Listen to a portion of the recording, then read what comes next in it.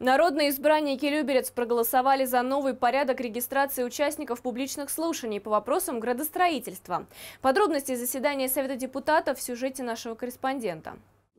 На заседании народные избранники утвердили положение об организации и проведении публичных слушаний по вопросам градостроительной деятельности. Так, депутаты утвердили порядок предоставления предложений и замечаний по вопросам, которые рассматриваются на подобных мероприятиях. Согласно этим документам, теперь все участники слушаний должны будут регистрироваться. Участники публичных слушаний теперь могут дополнительно подавать в электронном виде через портал РПГУ свои заявления и замечания предложения. Вводится понятие понятие открытого заседания, то есть публичные слушания не только у нас э, проводится как э, процесс э, подачи заявлений, но и дополнительно вводится открытое заседание, то есть там, где действительно проходят эти публичные слушания.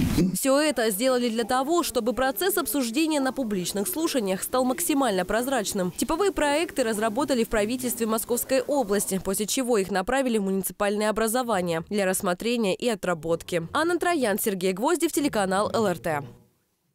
Всем привет! Вы смотрите ЛРТ, а я Яна Яковлева.